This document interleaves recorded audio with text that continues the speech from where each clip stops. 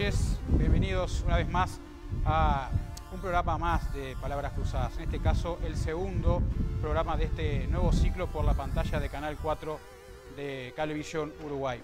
Primero que nada y ante todo agradecer los múltiples saludos, eh, todos los comentarios que hemos recibido. Estoy realmente sorprendido porque en 20 años de periodismo nunca hemos tenido la repercusión que tuvo el primer programa, en este caso de Palabras Cruzadas. Eh, un primer programa de los que hemos participado. Y la verdad que hemos quedado gratamente sorprendidos y fundamentalmente agradecidos por el cariño con el que la, gente nos ha parado en la calle para saludarnos, para felicitarnos por esta nueva propuesta. Así que primero que nada agradecer porque es lo que corresponde. En segunda instancia, y ya entrando directamente al tema de lo que tratamos aquí, por lo general en Palabras Cruzadas, que tiene que ver con, en este tema que ya comenzamos a plantearlo la semana pasada, que tiene que ver con la preocupación que estamos visualizando en distintos actores de la sociedad salteña respecto al tema del desempleo y al tema del empleo, que de repente está también dirigido involucrado con el tema de las inversiones. Habíamos invitado en más de una oportunidad para que nos pudiera acompañar en algunos de los programas que estábamos trabajando, el tema del, empleo y del desempleo, a la contadora Angelina Bassano, eh, representante de la Intendencia de Salto, en el área justamente de desarrollo, este, estrategia, inversión, etcétera. Un hombre largo, extraño, que no me lo he aprendido ni lo pienso aprender en todos estos años. Pero eh, nos mandó una carta a última hora para decirnos que problemas de agenda le impiden una vez más poder estar presente en un programa como este. Le digo a la contora Basano que el problema no es que me conteste a mí este, las preguntas que tengo para hacerle sobre cuál es su impresión sobre el tema del empleo o el desempleo y qué es lo que está haciendo para que lleguen inversiones legítimas y genuinas al departamento de Salto. No me tiene que contestar a mí, le tiene que contestar a la gente al pueblo de Salto, no a mí. Así que cuando ella disponga, este programa está a su disposición, porque lo que importa es que la gente sepa qué es lo que se está haciendo en la Intendencia para tratar de solucionar el tema del empleo. Eh, y como dijimos la semana pasada, tuvimos la, pata fundamental que tiene que ver con los trabajadores y con la parte empresarial. Así que por primera vez en una, en una canal de televisión estuvieron sentados eh, el presidente del PCNT, Carlos Catani, y el presidente de la Confederación Empresarial del Uruguay, eh, Miguel Feris, donde se pusieron de acuerdo que lo que hay que hacer es dialogar y trabajar sobre el tema. Como dijimos en su momento, más allá del tema de los porcentajes del desempleo, si son altos, si son bajos, hay una sensación de que hay algún problema en el departamento. Estuvimos viendo alguna publicación en la semana de la diputada Catalina este, Correa en el diario El Pueblo, donde también deja traslucir este, esa sensación.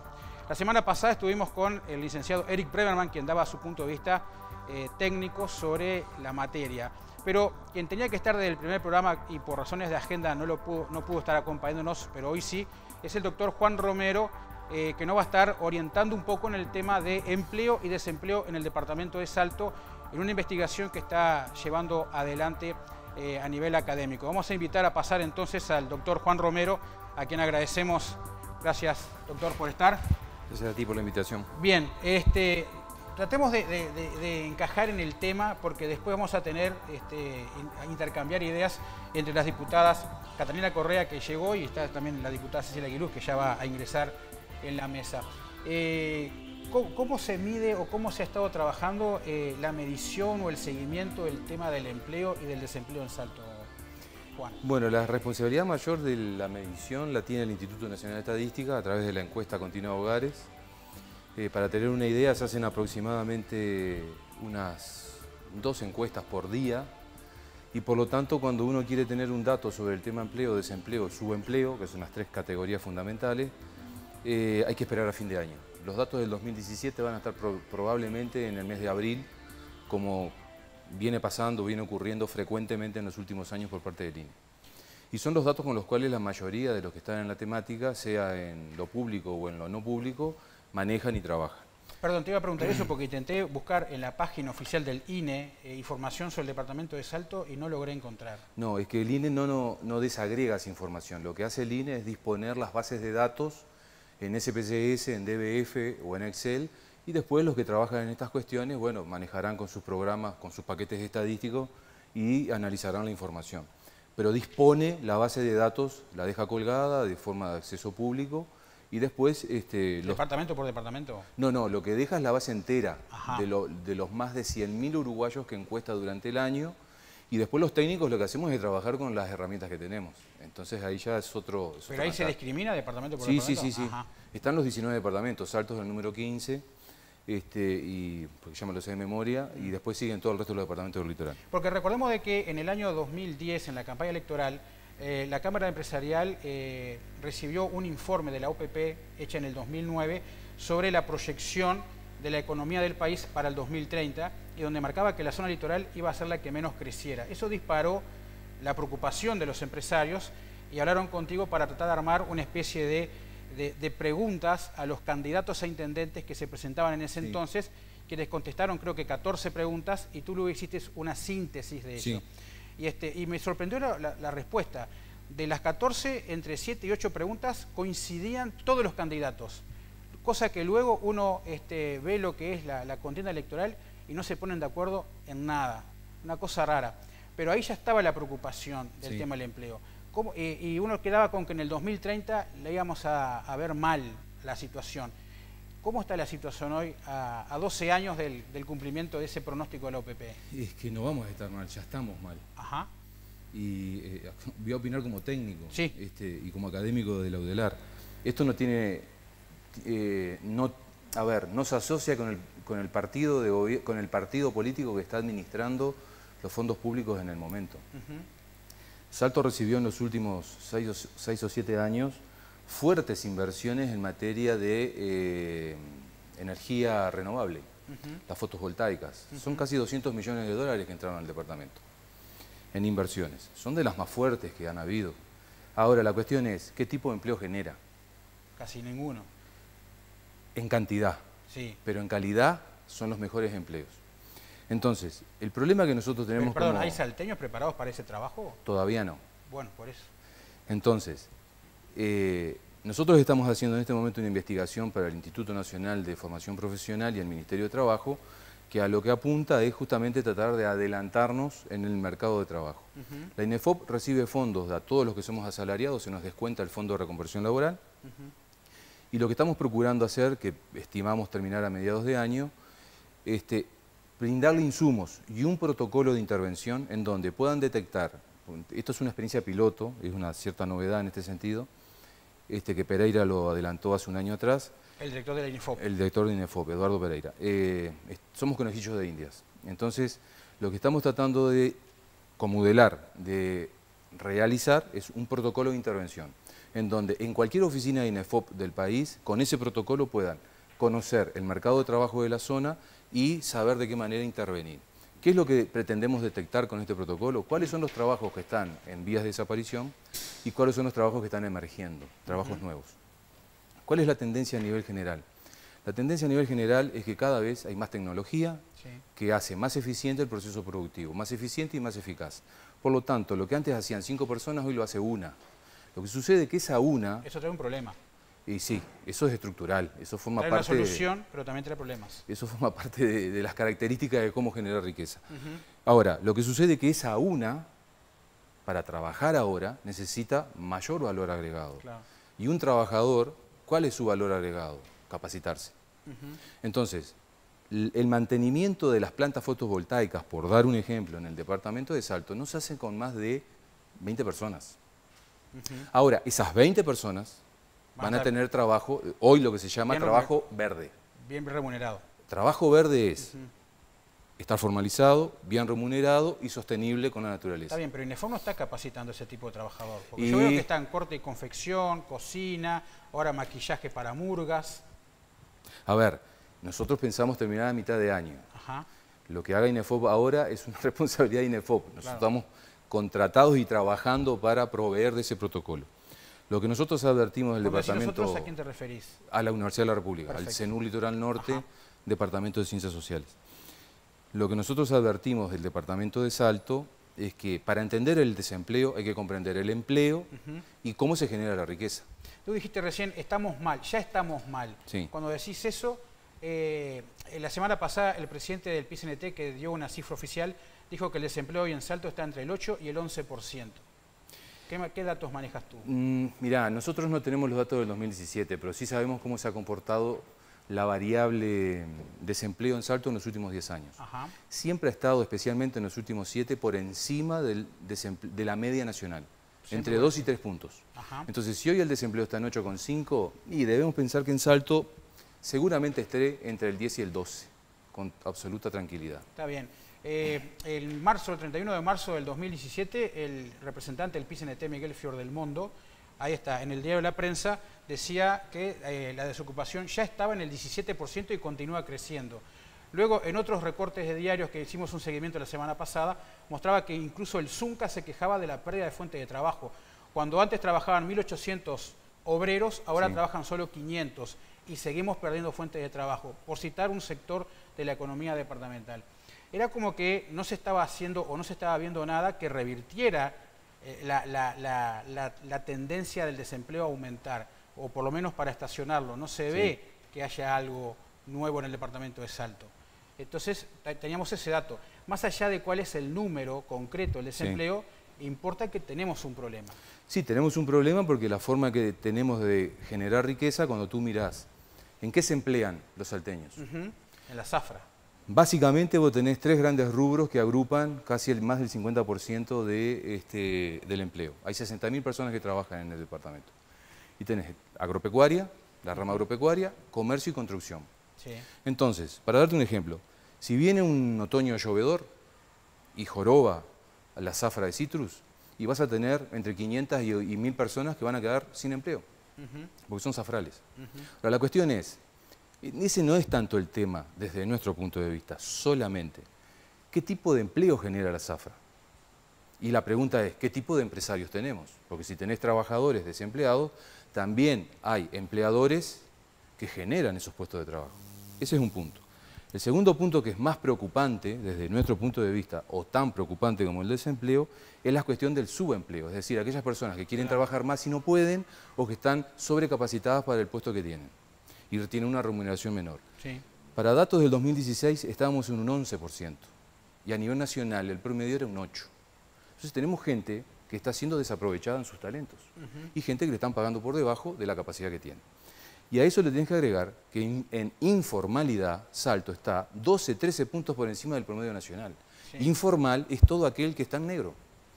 Y informal se confunde con vaga shopping. Y yo ya les adelanto, el vaga shopping incide muy poco en la informalidad. Porque cuando tú miras informalidad, ¿dónde se concentra? Y es diferencial por género, que esto para mí también es grave.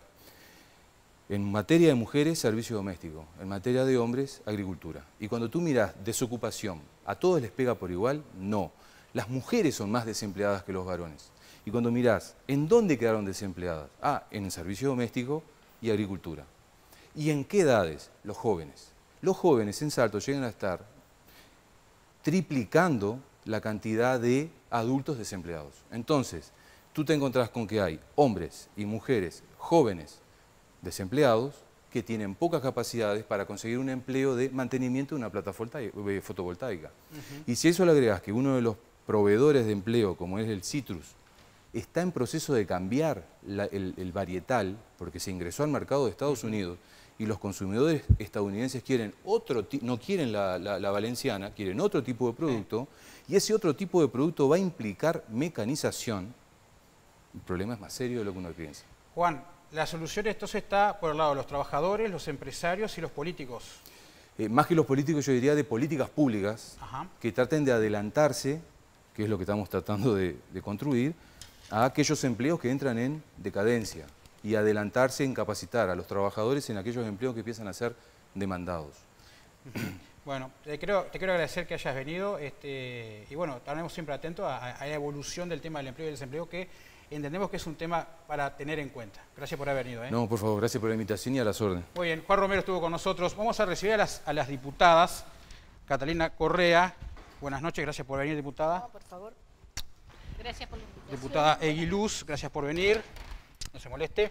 Bueno, mientras nos ponemos cómodos para charlar ya y cruzar algunas palabras e ideas con las diputadas, los invito a ir a la primera pausa y ya volvemos.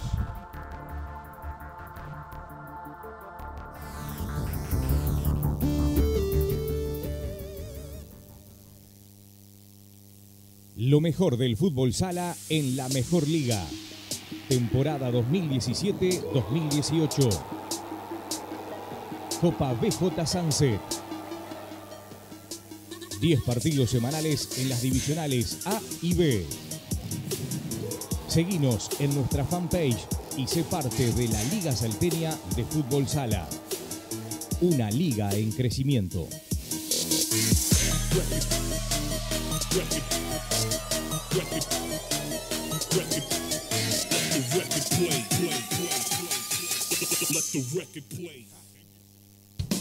Nordgar te espera en marzo con estas ofertas en roperos. Ropero Click Team con dos puertas corredizas y cuatro cajones con rieles metálicos a solo 5.340 pesos. Ropero Havana Plus con seis puertas y seis cajones con rieles metálicos a solo 7.680 pesos. Ropero Pepe Sorriso con cuatro puertas y tres cajones con rieles metálicos a 9.660 pesos. Lignor Hogar en marzo. Con todo lo que buscas y más. Una vuelta a clases redondita con HDC. 6 mil pesos en 10 cuotas de 827. 12 mil pesos en 12 cuotas de 1466. O 20 mil pesos en 15 cuotas de 2144. Uruguay 617. Teléfono 4734 1661. Crédito sujeto a aprobación.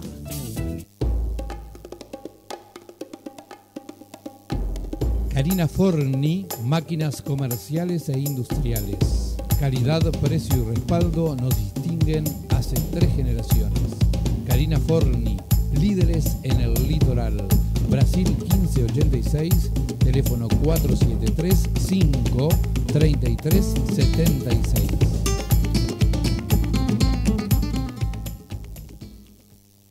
Metalúrgica Semar. Somos especialistas en equipamientos gastronómicos Además, construimos su food truck a su gusto y según su necesidad. Tenemos el único pantógrafo en la región para realizar el diseño que usted quiera. Metalúrgica Semar, Rafo 358, teléfono 473 561 56. Está pronta la comida. Bocati es la mejor opción para resolver el almuerzo o la cena de manera rica y sana. Bocati Empanadas Premium. ¿Sabés de qué estamos hechos?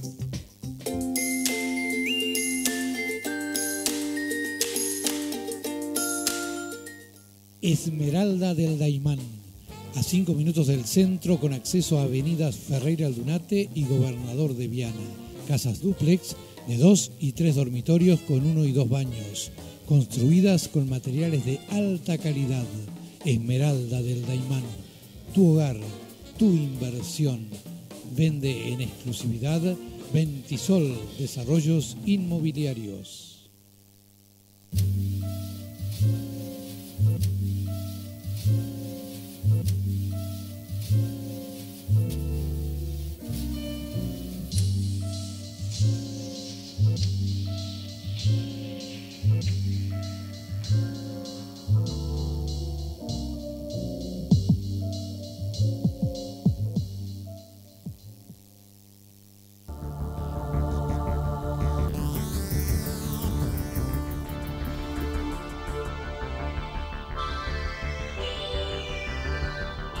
Bien, seguimos en Palabras Cruzadas. Usted ya las vio en el bloque anterior. Estamos junto con la diputada Cecilia Aguiluz y con la diputada Catalina Correa, a quienes agradecemos enormemente desde este espacio, desde Palabras Cruzadas, porque sabemos que no fue fácil este, para ustedes, por su agenda de trabajo, poder estar hoy acá y por eso agradecemos doblemente que nos hayan acompañado en la jornada de hoy. También decirles a los televidentes que para poder comunicarse con nosotros en vía directa tienen el WhatsApp el 097-285-241, el mismo de la radio, así que es el número es igual, 097-285-241. Eh, quisiera empezar este, este cruce de ideas, este cruce de palabras, con la diputada Catalina Correa porque me sorprendió una publicación que vi en el diario El Pueblo este sábado, que dice, palabras más, palabras menos, hacia finales del año 2016, los diputados del Frente Amplio del Norte del Río Negro, nos reunimos por primera vez en este periodo de gobierno preocupados por el tema reiterado de las inundaciones en el litoral. Entendimos entonces que debíamos continuar con este grupo abordando otras áreas, no solamente situaciones puntuales como una creciente o una sequía. Por tal motivo, al inicio de una nueva legislatura, desde el equipo de esta Diputación hemos decidido impulsar un grupo de trabajo que se dedique a buscar soluciones principalmente sobre generación de empleos para todos los departamentos del norte del Río Negro y específicamente en nuestro caso por tener el índice de desocupación más alto del país. Usted escuchó recién a, Romero, diputada. ¿Cuál es su impresión del tema del desempleo en Salto? Bueno, es un poco el mismo de, que Juan decía, ¿verdad? Eh, estamos mal, hay más gente em, sin empleo de la que quizás podamos visualizar por distintas razones. Ese grupo que tú mencionabas, eh, que nosotros intentamos armar, a ver, de alguna manera, el, por allá por fines del año anterior, nos reunimos los diputados del litoral todos, de todos los partidos. No recuerdo si tú estabas, Cecilia, pero sí nos reunimos eh, de todos los partidos, Partido Nacional, Partido Colorado, Partido Independiente, pero fue por el tema puntual de las inundaciones. Eh, más adelante, los este, que compartimos la bancada del Frente Amplio y que somos de, esta región, empezamos a ver de que las inversiones siempre se quedaban al sur del Río Negro y qué estaba pasando con el norte que no sabíamos atraerlas o sabíamos atraerlas poco. ¿Quién debe atraerlas? Todos los que podamos, es decir, las empresas, los privados, eh, las organizaciones sociales, las intendencias. ¿No hay nadie más responsable que otro? Yo creo que todo aquel que tenga una idea y un proyecto tiene eh, la posibilidad de atraer una inversión. Y ahora te voy a explicar por qué, te voy a decir por qué. Eh, cuando nosotros em, nos volvimos ahora en esta legislatura, empezamos a hablar con los compañeros del norte del Río Negro. En principio con los compañeros frente amplistas, que no significa que ese grupo vaya a ser cerrado a los diputados frente amplistas. ¿ah? No es la agenda de Lima que quiso hacer con el intendente del litoral, ¿no? No, no, no. Es, un, es norte del Río Negro, diputados que tengan ganas de pensar juntos, cosas. Porque no es lo mismo la realidad de Rivera, la de de Artigas, de Río Negro, de Salto, de Paysandú. Todos tenemos un territorio que se parece bastante, pero que es diferente. Pero la realidad del desempleo es la misma. Pero la realidad del desempleo es la misma con algunos énfasis, quizás un poco más profundos, acá en Salto, en Rivera también y todo lo demás. Entonces, eh, todos eh, somos los que podemos atraer inversión. Y el tema es que muchas veces, muchas veces y a veces porque quizás los mismos diputados y el gobierno nacional y los representantes de los distintos partidos no sabemos replicar en nuestro territorio cuáles son, es decir, decirle a la gente cuáles son aquellos lugares a los que se pueden ir a buscar inversiones si vos presentás un proyecto. Eh, me pasó, y te voy a dar un ejemplo bien cortito, breve y concreto para ir cerrando, digamos, la primera idea. Me pasó con el LATU. Yo cuando estoy en Montevideo y tengo tiempo, empiezo a recorrer lugares. Y a uno de los lugares donde fui fue al LATU. Y les pregunté al LATU, ¿qué tienen ustedes acá para la gente del interior? Todo lo que ustedes quieran. Eh, por ejemplo, y subvencionamos, este, nosotros apoyamos proyectos, proyectos eh, productivos, eh, proyectos de emprendedores, todo tipo de proyectos. Bueno, ¿y qué tiene que hacer una persona que quiere venir a que ustedes em, patrocinen un proyecto? Mira, dice, te voy a decir algo. Ellos conformaron un equipo que se llama Latitud dentro del LATU, en el que em, me explicaban, antes se les pedía a la gente que aportaran o acercaran un proyecto, pero que ahora ya ni siquiera eso le piden, porque saben que hay muchos emprendedores, y sobre todo en el interior y en el medio rural, que tienen sus dificultades para elaborar un proyecto. Entonces, lo que le piden ahora es que le lleven la idea, y con esa idea ellos tienen un equipo que elabora el proyecto y si es viable, si es viable, pueden apoyar. Pero estamos hablando de pequeñas y medianas empresas. Estamos hablando de pequeñas y medianas empresas o, o no, porque la Intendencia es una empresa, entre comillas, también que puede ir a pedir. Si quiere, puede presentar un proyecto. Tiene que presentar un proyecto. Pero no está presentando. no lo está presentando. Diputada Aguiluz, usted eh, tuvo la experiencia de haber participado de un gobierno departamental que toma el desempleo cerca del 10%, durante el quinquenio lo bajan al 6,8% y, este, y así es como se retiran del gobierno. Hoy estamos viendo un desempleo que, desde el punto de vista del PICNT, anda en torno del 8 al 11%. Eso hoy, pero hace un año atrás el PICNT decía que estábamos en el 17%. No sé qué pasó en el medio que bajó tanto de golpe. Y, este, por otro lado, los comerciantes sostienen de que siguen cerrando este, eh, comercios, empresas, en torno del 17%, lo que se deriva justamente en la pérdida de fuente de trabajo, además del tema de la zafra y lo canalizó recién el doctor Romero. ¿Qué, visión tiene usted del tema del desempleo en Salto? Mire, primero que nada yo pertenezco al Partido Colorado, que es un partido eh, que ha sido siempre más de ejecutar las cosas que eh, quizás de los grandes discursos, ¿no? Por eso muchas veces se, analiza que, hasta hemos perdido algunas banderas, ¿no? Eh, nosotros cuando llegamos al gobierno no llegamos para pensar, ni para ver, ni para analizar, llegamos para ejecutar un plan que fuimos elaborando durante bastante tiempo, que tenía que ver con una gran crisis de desempleo que estaba viviendo el departamento en el anterior gobierno del Frente Amplio. Crisis de desempleo que, abordaba varios temas, ¿no? entre ellos el, subempleo, que era lo que recién este, hablaba Juan, eh, Romero, pero también em, la, poca eh, generación de inversiones que había y no habían políticas para atraer inversiones de otros lados, inversiones que cualitativamente hicieran el cambio porque no es lo mismo tratar de traer inversiones que, por ejemplo, son inversiones financieras, que eh, le dan trabajo a un par de profesionales o un estudio jurídico, que traer inversiones que, en definitiva, reactiven la economía. No es lo mismo. Entonces, ¿cuál era el, eh, lineamiento que tenía la Intendencia de Germán Coutinho? Primero que nada, era trazar políticas continuar algunas políticas que había tenido el Partido Colorado en intendencias anteriores que tienen que ver con el desarrollo. ¿Qué significa el desarrollo? ¿Qué es lo que hoy escuchamos, ¿no? que los productores están reclamando, políticas de desarrollo? Es justamente eso, instalar algo que alrededor de eso crezcan más cosas y no simplemente andar en búsqueda de una cuestión concreta, de un proyecto concreto o de una idea concreta.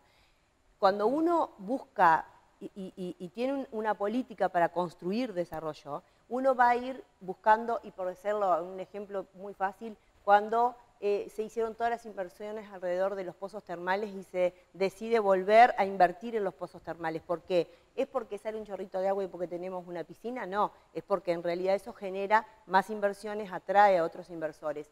Y una de las cuestiones que nosotros teníamos, y, ustedes se van a acordar cuando yo lo diga, que fue la plataforma de, de, nuestro, nosotros teníamos una visión, una misión y una organización institucional que desarrollamos durante cinco años que se cortó ahora, pero que espero que se siga desarrollando después, que tenía que ver con la jerarquización del departamento. ¿Y por qué es importante la jerarquización del departamento? Porque todo funciona, lo público y lo privado, con las mismas reglas. Cuando a uno lo ven bien, que está creciendo, que se está desarrollando, que genera cosas, que está en, auge, eh, la gente se siente atraída. Ahora, cuando la gente ve que está todo mal, que se salían y se hacían esos discursos que decían las calles están rotas, no se puede transitar, la intendencia está fundida, bueno, todas esas, esas cosas empezaron también a correr inversiones que tienen que ver con el desarrollo del departamento. El departamento nuestro se divide y hay que conocer bien cómo funciona para, para, poder seguir trabajando en ese sentido. Este, primero, lo que tiene que ver con la agricultura, en, cuanto a, fuentes de trabajo, eh, a cantidad de fuentes de trabajo. Después es lo que tiene que ver el comercio. En este momento estamos en crisis. ¿Y cómo se nota la crisis? Porque la gente de la agricultura no puede sostener los, puestos, de trabajo y se están fundiendo trabajando, que eso es un propio término que ellos lo hacen, y por lo tanto, esto no es una lucha de clase histórica, de decir los obreros contra los... No, no, no. Acá hay un gran problema que el gobierno no lo está solucionando a nivel nacional y mucho menos a nivel departamental, que ha faltado capacidad absolutamente, no, hay, no, hay, no hay una política de gobierno en este sentido, entonces, ¿qué pasa? Empieza a resentirse la segunda línea, que es el comercio. Empieza por el agro, va por el comercio y ahí empiezan a resentirse todo. Y cuando empieza a caer así, empieza como un dominó, que es lo que está pasando en el departamento de Salto desde estos últimos años. Diputada Correa, en ese sentido hemos escuchado palabras del, ministro de Economía, Danilo Astori, que ha sostenido que era importante comenzar a, lanzar inversiones que generen fuentes de trabajo al interior del país. Uno nunca sabe cuando un montevideano habla, si habla hasta el Santa Lucía o pasando el Río Negro. Pero hay un artículo que fue modificado en el 96 en la Constitución que habilita a que se solicite un tratamiento diferencial a nivel tributario a aquellas industrias y empresas que se instalen en el interior del, del, país. Y mientras más lejos estén de Montevideo, más descuentos tendrían. Eh, eso creo que era lo que estaba mencionando el contador Danilo Astori. Ahora, ¿quién tiene que proponerlo? ¿El gobierno central o reclamarlo el gobierno departamental para poder armar una base, por lo menos una propuesta u oferta para que lleguen inversiones. Si es una ley que ya está, que es, este, es una ley que está, como tú dijiste, eh, si las cosas están, lo que hay que hacer es que se cumplan. ¿Ah? Entonces, corresponde a los gobiernos departamentales, en este caso, hacer esos reclamos del que tú este, estás haciendo mención. Eh, yo creo que la idea eh, que tú estás planteando de traer a ver, eh, el Frente Amplio eh, impulsó la ley de descentralización, eh, la intenta llevar adelante de la mejor manera que puede, no es una cosa sencilla como toda cosa que se instrumenta, pero a veces, lamentablemente, y digo lamentablemente porque uno lo vive y lo siente, hay un montón de decisiones que se toman demasiado, digamos, desde los escritorios y muy lejos de la realidad de la gente. Entonces, a mí me parece que si nosotros estamos en el territorio, y por eso es em, la intención de juntarnos, si conocemos la realidad de nuestro departamento, porque lo recorremos y estamos en él hace muchísimos años, eh, somos nosotros los que debemos juntarnos y eso de presentar un proyecto así como que no tuviera demasiada importancia, yo creo que sí lo tiene, porque puede haber proyectos que abarquen a mucho más de un departamento y que pueden atraer inversiones importantes. Y es cierto también lo que decía Romero, tú atraes una inversión importante a este departamento, traes una fábrica, por decirte algo, de autos, ¿tenés obreros preparados para trabajar en esas fábricas? Probablemente no lo tenés. ¿no? Pasó cuando vino UPM, no había soldadores, tuvieron que traer, es decir, mm. eh, cada vez la máquina de alguna manera está suplantando eh, al hombre y digo, ¿qué estamos haciendo con esas personas que son suplantadas desde la cosecha, desde lo que sea, desde los packing? Eh, ¿Qué estamos haciendo? ¿Para qué los estamos preparando? ¿Estamos teniendo proyectos eh, como intendencias o como grupos de intendencias para trabajar con, con, esas personas? Sí, usted dijo hay que unirse, ¿no? Y, este, y yo me pregunto, si Salto está viviendo un momento delicado en materia de empleo y desempleo, los comerciantes se quejan de los altos costos que tienen para poder mantener abierto el comercio. Por lo tanto, están cerrando comercios. 17% eh, dijo el centro comercial hace un, par de semanas. Eh, y, por otro lado, tenemos entonces que los trabajadores pierden trabajo, los políticos están preocupados para buscar soluciones. ¿Por qué no, ya que hay que unirse, por qué no hay una gran mesa en el departamento de Salto? Este, no digo de debates, pero para intercambiar ideas y para poder sentarse a buscar soluciones juntos y que las divisiones se dejen de lado buscando fundamentalmente poner la acentuación en, las cosas que, los une. Por ejemplo, la bandera de salto, más allá de la partidaria, si sos de Peñarol, de Nacional, la bandera de salto. Digo, ¿se podría llegar a pensar algún día así como se movieron todos por el IMAE, buscar por algunos temas centrales como por ejemplo el empleo para que Salto vuelva a estar a la vanguardia del desarrollo como tuvo antes, que yo no lo viví, capaz que ustedes sí, el este, que, vuelva a estar ahí por los salteños, ¿se podría? Yo creo absolutamente que sí. Primero, tengo una concepción de, trabajo en equipo. Yo creo en los trabajos en equipo y creo que los trabajos en equipo, cuando más dispares están conformados, eh, más ricos son. Porque si nos sentamos alrededor de una mesa a hacer una gran planificación donde todos pensamos iguales, a lo mejor nos estamos perdiendo alguna visión que pueda ser diferente. ¿Y por qué no pasa? ¿Qué falla? Eh, mira, es lo que estamos, por eso te digo, tratando ahora de, de intentarlo. Primero vamos a empezar por casa. Vamos a ver si todos nuestros diputados al norte del Río Negro están de acuerdo. Por de casa hecho, es Frente Amplio. Frente Amplio. Eh, de hecho, te- ya te digo, eh, con Manuela Muti hablamos, está de acuerdo en integrar ese grupo, con Cecilia Botino de Paysandú también, el compañero Rodríguez de Artigas también, el compañero Mendiondo, eh, Constante Mendiondo de, mm, de Río Negro y Aristimuño de Rivera. Eh, me está faltando la respuesta de Tacuarembó, para poder empezar a juntarnos y eso, como te lo dije al principio, no significa que quede cerrado el Frente Amplio. Va a empezar entre nosotros. Y vamos a invitar, nosotros tenemos que decir, yo participo de una comisión, que es la Comisión de Constitución y Código, donde llegamos a acuerdos y desacuerdos, y como todas las comisiones están conformadas por gente de todos los partidos políticos. Y llegamos a acuerdos e intercambiamos ideas como compañeros de trabajo de comisión, no como partidos políticos. Y a mí me parece que eso se puede lograr. ¿Por qué no?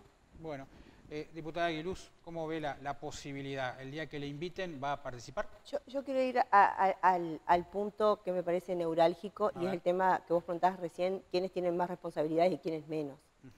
Eh, Intendencia Germán Coutinho, vuelvo. Porque, ¿Por qué vuelvo? Porque fue exitoso nuestro trabajo en esos cinco años. Nosotros logramos bajar el índice de desempleo en el departamento de Salto porque el intendente Germán Coutinho lideró una serie de estrategias que ya las había planificado durante la campaña electoral, que se sentó con los actores en ese momento, me acuerdo, primera reunión con el centro comercial, con cada uno de los actores y se desarrollaron. Y una de las cuestiones que se crea en el organigrama es no una oficina, sino una dirección general, que era proyecto, inversiones y desarrollo. Todavía está esa Sí, dirección. todavía está porque está el mismo organigrama, Sí. pero en realidad nosotros, de hecho, la- la- el diseño del organigrama fue un diseño muy novedoso, porque se hizo un diseño que amalgamaba, y, y no- no- no- nos ayudaron profesionales de Montevideo muy este, preparados en esto, y fue casi la primera edición de un eh, organigrama departamental que fuera amalgamado con, eh, con lo privado. O sea, se sacaban estructuras empresariales y estructuras públicas para intentar armar un conjunto que varias áreas fueron muy exitosas porque justamente se, se- se- se siguió esa línea. Una de ellas fue proyectos, inversiones y desarrollo. ¿Y a qué apuntaba? A proyectos. Nosotros no compartíamos eh, una- la filosofía asistencialista, compartíamos la filosofía del emprendedurismo. Entonces se desarrolló toda una línea que tenía que ver con el emprendedurismo, incluso con algo también muy novedoso, que era el corte transversal de género. Nosotros eh, eh, separábamos para eh, el, famoso ¿no? criterio de igualdad y- y trabajar sobre los que quizás tenían más desigualdad, que era el caso de las mujeres. Porque esos- esas gráficas que se ven ahora de que las mujeres tienen menor nivel de empleo en el departamento de Salto ya se veía antes. O sea, siempre hubo un corte muy marcado y siempre eh, las mujeres son las que tienen el mayor nivel de desempleo. Y cuando caen los empleos, son las mujeres las primeras que quedan sin trabajo. Y eso este, se, se- se sostiene en, en- en- en los análisis. Uno ve la- la- los análisis de- del, del- del IND, pero, del INE, pero también ves este, los análisis que hacen algunos observatorios y también lo que es el propio Ministerio de Trabajo cuando hace los cierres este, de, ejercicio y, y- y pone los números y te das cuenta que bueno, hay un tema con las mujeres. Pero eh, sigamos, proyectos, porque justamente se trataba de eso, la elaboración y la construcción, el pasar rápidamente con equipos técnicos de las ideas al proyecto y después a la ejecución. Inversiones, ¿por qué? Porque si no hay inversiones, si no se invierte, en realidad no se generan fuentes de trabajo. Y, y volvemos a, ese criterio que tiene que ver con eh, conseguir atraer y que el departamento fuera atractivo para que las in- inversiones pudieran llegar. Y bien lo dijo, lo dijo el licenciado Romero hace un rato, vinieron en los últimos años una serie de inversiones importantes que, claro, ¿qué hicieron? Dinamizaron el mercado. Porque uno traía la reestructura de todo el Hotel Salto y entraba la gente a, eh, a trabajar en el Hotel Salto. Se hizo el Altos y entraba la gente a trabajar en el Altos. Eh, se invirtieron millones de dólares en lo, en lo que es la infraestructura de la ciudad, se construyeron piscinas, se, se- se construyeron un montón de cosas y había mucha gente que trabajaba en las empresas privadas. Y el dinero iba a las barracas de Salto, iba a, los emprendimientos que había en el departamento de Salto. la, la, contadora Marazano dijo que eran obritas vistosas. Y lo, y, lo, y lo último del título que tenía esa área, que no era solo un título, era el desarrollo. ¿Por qué? Porque el desarrollo nuevamente era un corte transversal. Uno tiene que tener políticas públicas y las políticas públicas que se aplicaron en el gobierno de Germán Coutinho eran políticas de desarrollo. Y por eso trabajaron una serie de técnicos este, que, lamentablemente se perdió muchísimo de ese trabajo, pero sí creo que eh, una de las pocas cosas que se pudo rescatar es que la cantidad de emprendedores que se prepararon ahí y en, ese, en esa época, hoy uno los ve y tienen algo que es muy importante y que no es depender de nadie, sino poder trabajar por ellos mismos en un montón de cosas que, pudieron desarrollar ahí. Ahorita vistosas, dijo la cortadora Marazano, que era todo lo que usted decía. Bueno, lo que pasa es que eh, nosotros, no, eh, eh, yo hoy cuando, cuando hablábamos al principio, digo, la, propuesta del programa, ¿no? Mm. O sea, yo creo que toda la campaña electoral anterior se basó en ese tipo de peyorativos y en, y en otro tipo de cosas espantosas que terminaron haciéndole a nuestras familias y a nuestros apellidos, a nuestros hijos, a nuestros padres. Y, y esa fue esa, esa, manera de, intentar hacer política en, en, un ambiente que cayó muchísimo justamente porque tiene ese tipo de cosas. Yo creo que uno tiene que ser eh, muy respetuoso y yo siempre fui muy respetuoso. Sin embargo, no recibí el mismo trato. Ni hablar de Germán Coutinho, que le llegaron a decir cualquier cosa y ese tipo de obritas y no sé qué más, todo eso de intentar disminuir un trabajo que la verdad que duró mucho más la construcción que luego la ejecución, porque cinco años se van volando. Y ahora ya se está terminando el periodo porque ya arrancamos, ah, ya arrancamos en pocas horas en la segunda mitad del periodo de gobierno. Ya no hay mucho para hacer. Bien, luego de la pausa que ya vamos a ella, vamos a ir redondeando ya este cruce de palabras, comenzando con la diputada Catalina Correa, este, con esta pregunta básicamente. Ustedes están construyendo con los diputados eh, un espacio de intercambio de ideas para trabajar sobre distintos temas, entre ellos el tema del desempleo. Eh, pero ¿tienen contacto con los ejecutivos, con las intendencias? Luego de la pausa contesta la diputada Catalina Correa. Ya volvemos.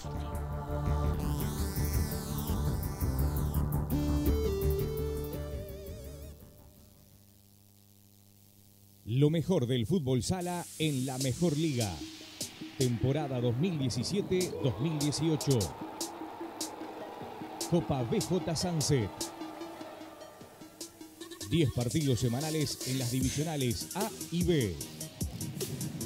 Seguinos en nuestra fanpage y sé parte de la Liga Salteña de Fútbol Sala. Una liga en crecimiento.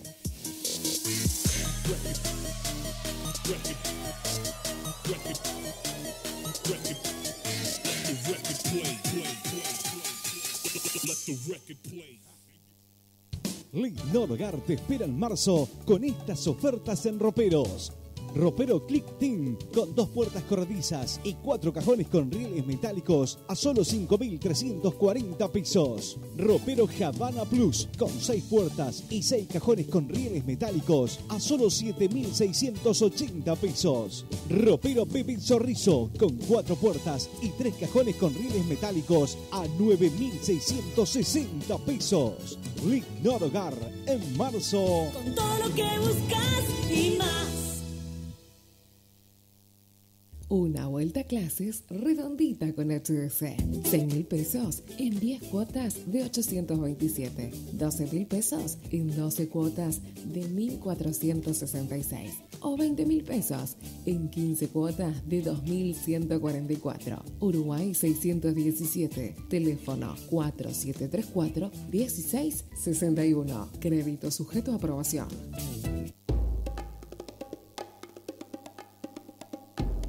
Karina Forni, máquinas comerciales e industriales. Calidad, precio y respaldo nos distinguen hace tres generaciones. Karina Forni, líderes en el litoral. Brasil 1586, teléfono 473 5 33 76.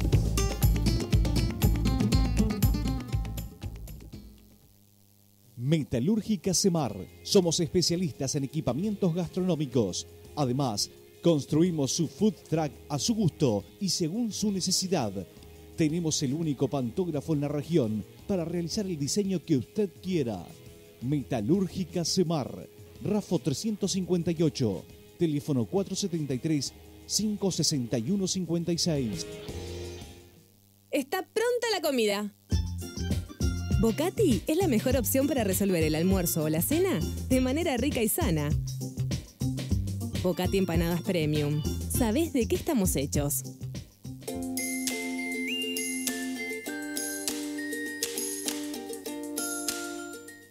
Esmeralda del Daimán, a cinco minutos del centro con acceso a avenidas Ferreira Aldunate y Gobernador de Viana. Casas dúplex de dos y tres dormitorios con uno y dos baños, construidas con materiales de alta calidad. Esmeralda del Daimán, tu hogar, tu inversión. Vende en exclusividad Ventisol Desarrollos Inmobiliarios.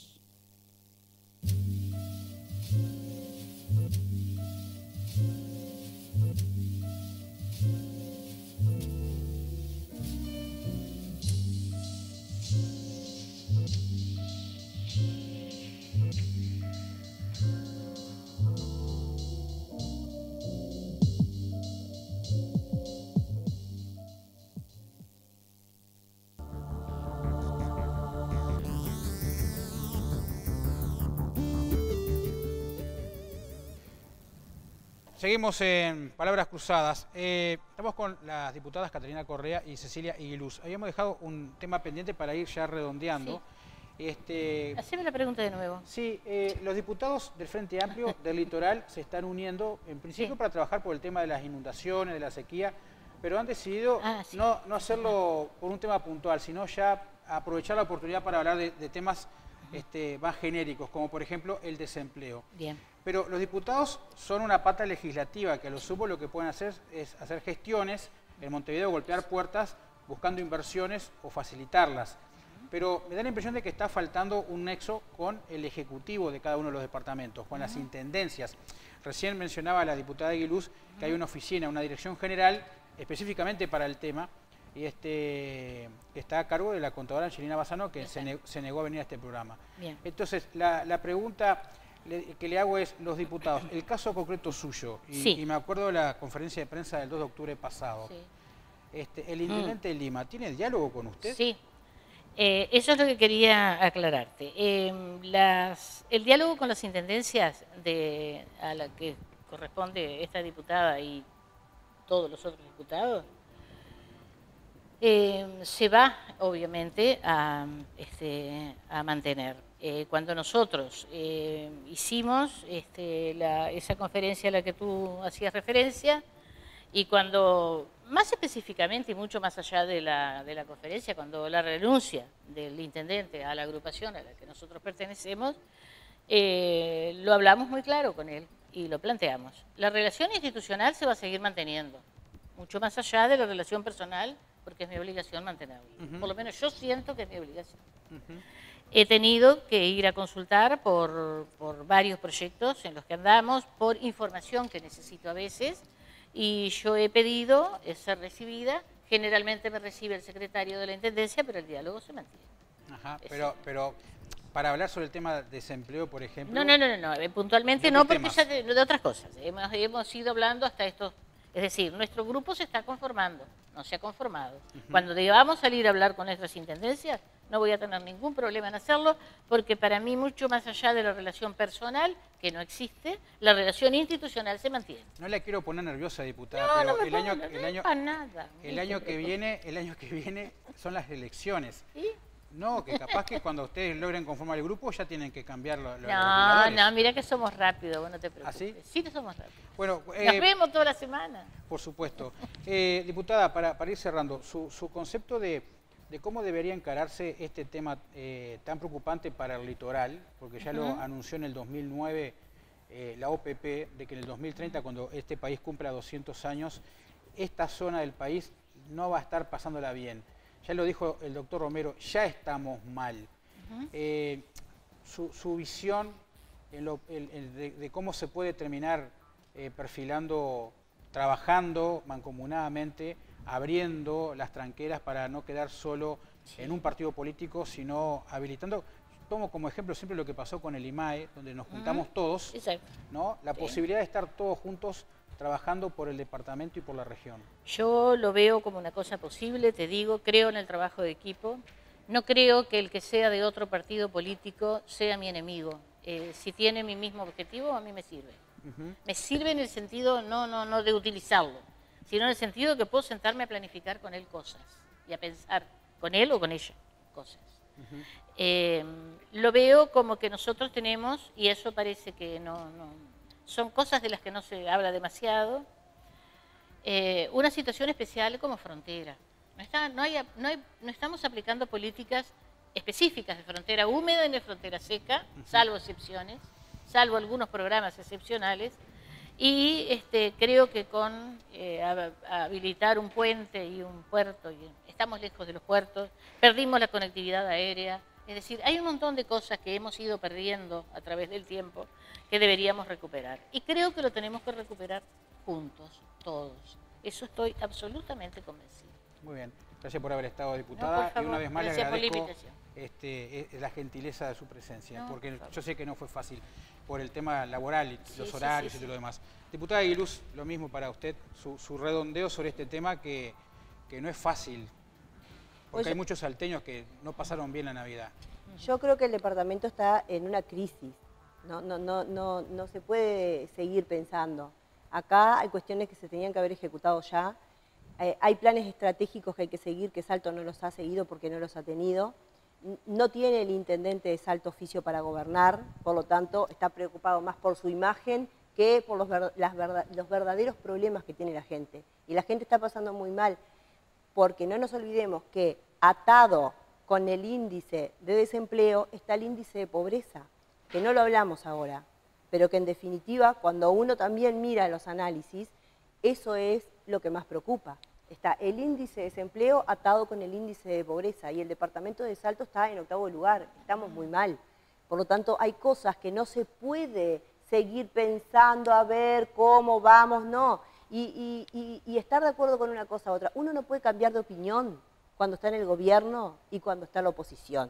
Uno tiene que ser coherente, por lo menos me parece a mí. Nosotros siempre fuimos coherentes. Nosotros estuvimos cinco años en el gobierno de Fonticiella, teníamos un sector que creamos con Germán Coutinho y estuvimos en la Junta y cuando habían cosas para votar para Salto, nosotros siempre las votamos. Nosotros jamás salimos en cinco años a hablar mal del departamento porque lo gobernaba el Frente Amplio nosotros teníamos las discusiones que teníamos que tener en los lugares que nos teníamos que tener y después Fontecilla se le ocurrió un día cambiarle el nombre al Parque Industrial, que fue lo único que hizo en cinco años, y bueno, entendíamos que eso podía servir para que hiciera los descuentos que, en ese momento no se hacían por los temas este, normativos, justamente que vos recién preguntabas, que está muy buena la ley, pero en realidad no se aplica, y mucho menos para el interior.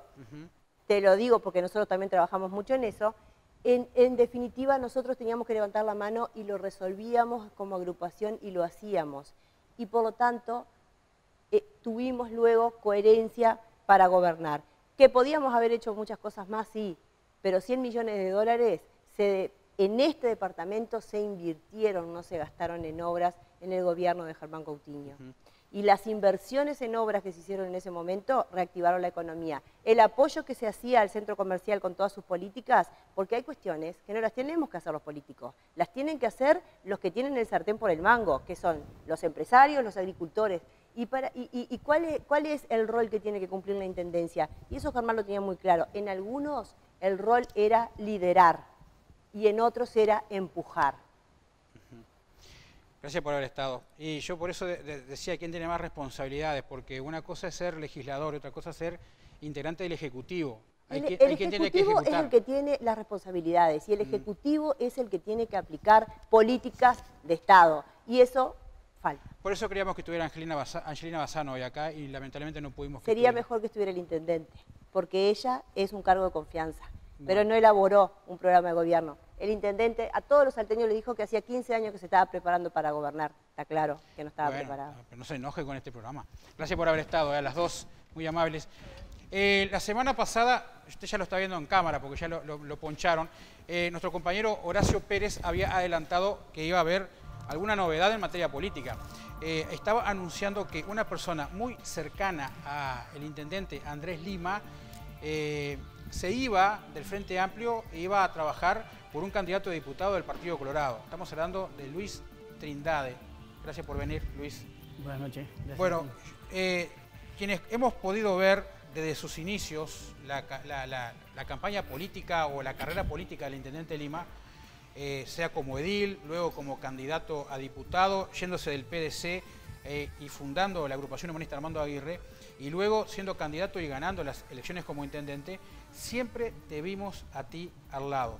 Es más, en las fotos, cuando el intendente salía, en aquel entonces edil o diputado, salía a recorrer el interior del departamento, tú estabas con él y lo llevabas en tu vehículo personal. Este, y siempre al lado de él. Cuando gana la elección, estás a cargo de la Dirección de Servicios Públicos. Y de repente, de la nada, en menos de cinco o seis meses de gobierno, desaparece de esa responsabilidad y sos trasladado a Trema de Arapey. ¿Qué pasó en esa relación más que política humana entre tú y el Intendente de Lima? Sí, bueno, esa pregunta que todos se la hacen también me la hago yo. Nunca terminó de quedar claro qué fue lo que pasó. Este, sí hay comentarios de lo que pudo haber sucedido. Este, creo que hubieron más intereses eh, en, la dirección. ¿Ah? algunos allegados ahí tenían más interés, estaban interesados en mi dirección y empezaron a este, elaborar estrategias para sacarme. ¿Tenían miedo de que tú eh, tomaras cierto protagonismo que pudiera opacar la imagen del intendente? ¿Eso fue lo que le dijeron? Sí, eso fue lo que le dijeron. Así. Palabras más, palabras menos. Por eso te, pues poco menos que te extraditó, no digo a Siberia, pero sí a las Arapey. Cosa de estar a 90 kilómetros lejos de la ciudad. Sí, eso fue un poco eh, eh, de acuerdo en los dos porque yo la iba a pasar muy mal este, estando acá, cruzándome todos los días con gente que este, lo habíamos visitado, habíamos ido a los barrios, habíamos, nos habíamos comprometido con, con diferentes cosas y sabiendo que eh, me sacaban de lo que de servicios públicos, eh, yo no iba a poder cumplir. Entonces, bueno, eh, acordamos en que me iba a terminar. ¿Cuándo, estando en Termal Arapey, que estás solo, tú y tu conciencia, ¿cuándo es que se, se, te produce ese, ese clic en la cabeza y decís, hasta acá llegué? yo no puedo seguir al lado de esta persona? No, este, por, estando en Derma de la Pay, sin duda que... Este, ¿Tienes tiempo para pensar? Hay tiempo para pensar. Sin duda que trabajábamos desde la mañana a la tarde, mucho más allá del horario que, me correspondía, y todos lo saben. Este, Terma del Arapey estaba carente de, de, varias cosas, entonces yo fui un poco el nexo entre este, eh, todos los sectores de la Intendencia, fundamentalmente servicios públicos, yo lo conocía bien, este, y logramos así eh, acercar proyectos. Pero, cosas. Pero está bien, pero ¿qué pasó que de repente dijiste hasta acá llegué, no puedo seguir acompañando políticamente a esta persona? ¿Qué pasó? ¿Hubo algún, algún momento, algún eh, hecho, alguna circunstancia? Trabajando en Terma de Arapey, que todos me vieron, todos me vieron. Este, y todos, todos estaban de acuerdo con el trabajo que estaba haciendo hasta que se terminan un poco los problemas de que falta que esto, falta aquello y falta lo otro.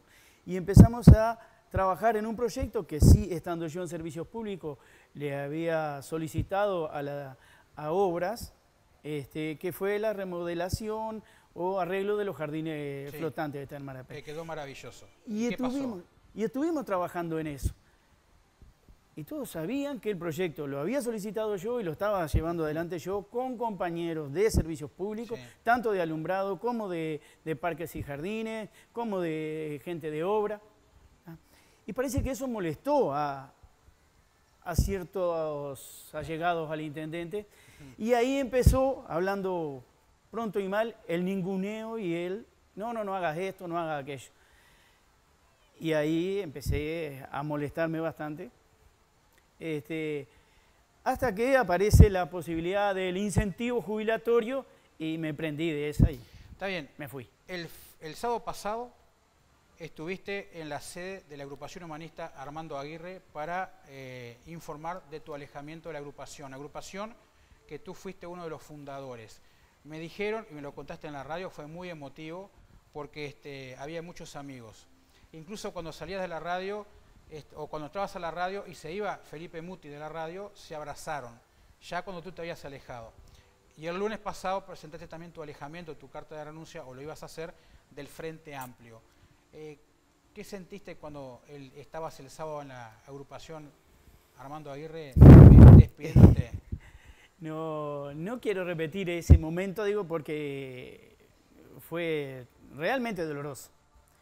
Digo, mi alejamiento de todo, de, yo estaba decidido a no seguir en política, no trabajar políticamente y sí este, estar con mi familia, con mis nietos, con mis hijos, con mi señora. Y bueno, este, pero sí eh, viene el compañero que yo te decía, que eh, Omar Paco Esteves, que nos conocemos de hace muchísimo tiempo y hemos compartido este, buenos momentos ah, y seguimos compartiendo. es empresario y además precandidato a la Diputación por la lista 20-115 de Vamos Alto del Partido Colorado. ¿Y qué pasó con Paco Esteves? Este, cuando... Te pide que trabajes para él. Sí, conversa conmigo y cuando él eh, tiene la posibilidad de ser precandidato a la Diputación por el Partido Colorado, por la 20-115, sabiendo mi situación de, que ya no tenía vinculación este, activa política con la, agrupación y el Frente Amplio, y, yo estaba comprometido con Paco Esteve. En sí, explicarle, a la gente por qué estabas comprometido, porque este, me dijiste que cuando estaba de campaña, eh, Lima, y se necesitaba de algún tipo de ayuda para un tema concreto, el que siempre ayudaba a Lima era Paco Esteves. Lo que yo, a ti? No, lo que yo eh, decía en mi carta de renuncia, eh, lo dije que molesté a familiares, eh, amigos y vecinos, ¿ah? buscando el apoyo para lograr lo que se logró. La Diputación dos veces y el gobierno departamental. ¿ah? Yo molesté a esa gente. Y a uno de esos amigos que molesté fue Omar Paco Esteves, que nunca me dijo no puedo o no, sabiendo que estábamos en veredas diferentes políticas, porque compartimos muchas cosas con él este, y seguimos estando juntos ahora más que nunca. Esa es la vinculación personal que Esa es la vinculación. Entonces, eh, decir, todo, eh, me lo decía, pero, eh, y lo puedo decir porque había gente de la agrupación junto conmigo. y cuando íbamos a hablar con, Esteves. Colaboro con vos, Luis. Colaboro con vos porque somos amigos que te conozco. A Lima no lo conozco. ¿Ah? Y digo, y, todo eso, sin duda que uno crea un compromiso de amistad. ¿no? Una deuda de amistad. Sin él venir a, cobrarme nada, pero sí me, me dijo, ¿qué posibilidad tenés de darme una mano en esto? Vos que anduviste, vos que tuviste claro que no me puedo negar. Esto para la elección de junio, primero, de las internas, y si clasifica, como se habla en Vamos Alto, como posible candidato a diputado, eh, Paco Esteves tendría otra instancia electoral en octubre del año que viene. ¿Qué va a pasar para mayo del 2020, cuando son las departamentales? ¿Dónde te va a encontrar? En principio, y lo hablamos muy, muy en claro, tanto con, Omar Esteves como con Germán Coitiño, que, eh, me, invitó a, una reunión y estuvimos conversándolo y haciéndome eh, esa invitación. Ya lo dije a él. Primero voy a trabajar por, el Paco Esteve porque me siento comprometido y, una deuda de amistad que tengo.